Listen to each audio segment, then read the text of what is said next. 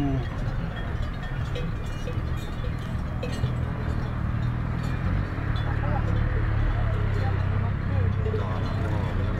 Quanto riusciamo ad andare là?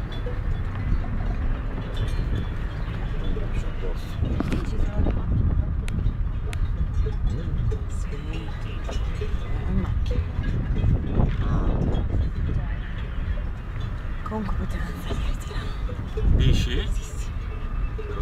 Ma perché quali sono i... Lì là in alto. Dove? Lì in alto. Ah, lì, lì. Sì. Ah.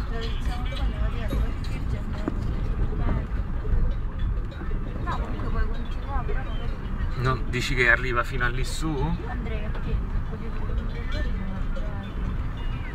E allora parcheggio qua.